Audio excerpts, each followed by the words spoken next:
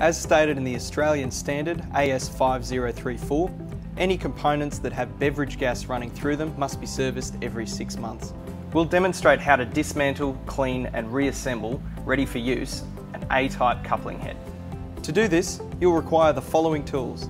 Spanner, pliers, small blade screwdriver, food grade beer grease, keg coupling brush, beer line cleaning solution and personal protection equipment. First, we need to undo both dispenser adapters using a spanner.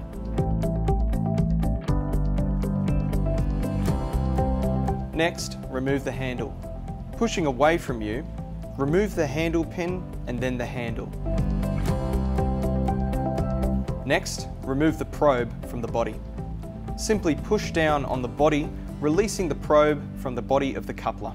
Pull the probe out. Remove the sealing gasket. Then remove the two O-rings.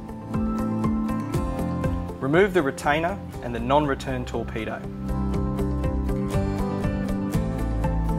Clean using a brewery approved beer line cleaner solution mix adhering to manufacturer's instructions. Remember personal protection equipment.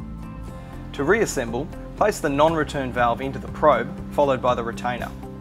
Replace O-rings and seals and lightly grease with food grade lubricant. Reinsert the probe by pushing up into the coupling body. Not all the way to allow room for the bottom gasket. Refit the bottom gasket with grooved surface facing out. Align the probe position, allowing for the handle to slide over the probe. Refit the handle pin.